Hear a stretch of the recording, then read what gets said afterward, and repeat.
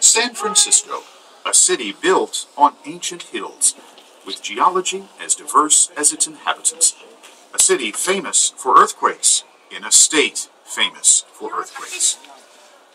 And a fading memory for many San Franciscans. October 17, 1989, 5.04 in the afternoon. The third game of the World Series had not yet started, but players had started to warm up, and coverage of the game had already begun when the earthquake struck.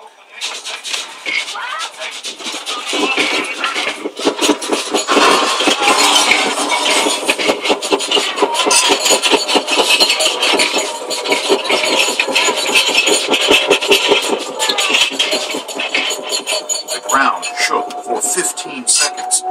We can't replicate the full force of the quake, its upward and downward motions, but this simulation gives you a sense of what people experienced. 63 people were killed, nearly 4,000 injured, and thousands more left homeless. But the city's most famous earthquake packed a much bigger punch. We can roll back time to imagine the San Francisco of more than a hundred years ago.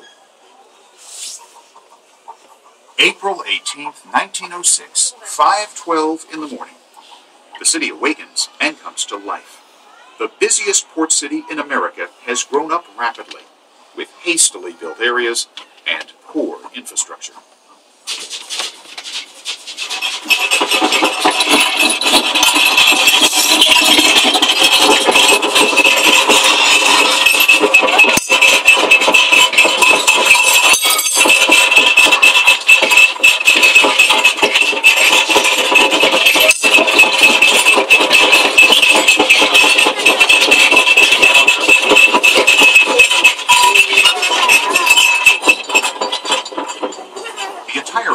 lasted more than 90 seconds, three times longer than you're experiencing here. If the damage from the earthquake itself weren't enough, fires started in the wake of the event caused more than 500 city blocks to burn to the ground. More than 3,000 people died in the 1906 earthquake and fire.